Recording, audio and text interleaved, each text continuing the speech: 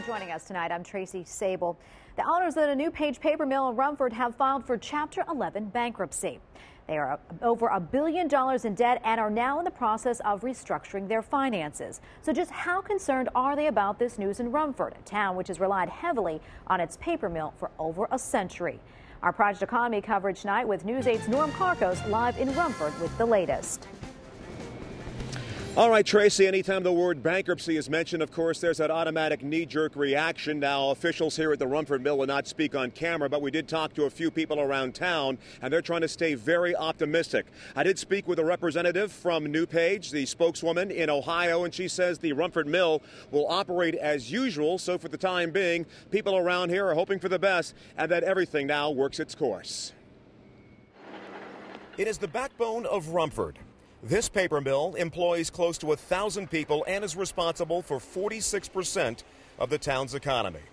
So when word spread that the owner of this mill filed for bankruptcy last night, there was concern but not alarm.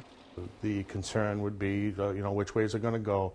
The reason why we're not alarmed is because we really had uh, somewhat of a uh, an idea that this was a possibility. Mm-hmm. we were told a couple weeks ago that Chapter 11 was a, an option. Matt Bean worked in the mill for nearly three decades and now oversees over 700 union workers at the mill. Despite NewPage's financial situation, it is his understanding that his workers' contracts will still be honored. Early second year of a five year contract, um, and they're not going to, there's nothing going to be done with our pension, uh, 401k at this point. Uh, so we feel a little bit more comfortable about that. And like everyone else, town manager Carlo Puiia is waiting to hear if the Chapter 11 filing will be approved. He understands it is a move to try to keep the company open and the machines rolling. Of course, we're concerned uh, not only about the tax revenue, but about all the jobs that people rely on. It's not just those that work in the mill, but it's all the other jobs that go around with it. You know, the the truckers, the loggers. What does the whole mill mean for this whole area?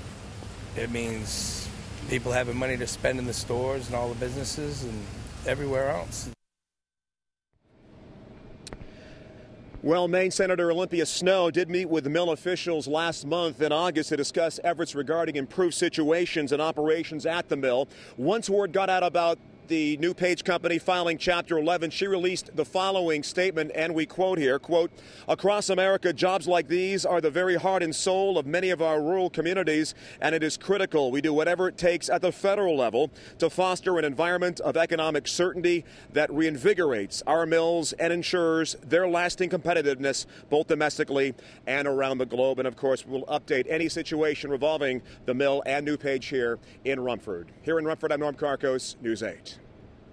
All right, putting the facts in focus on this story for you, the mill has gone through several rounds of layoffs and furloughs in recent years due to a drop in demand for coated paper. Back in January of 2009, 130 people were laid off from the mill.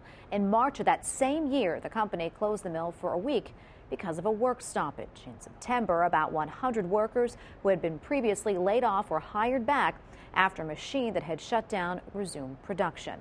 Besides Maine, NewPage owns paper mills in Kentucky, Maryland, Michigan, Minnesota, Wisconsin, and Nova Scotia.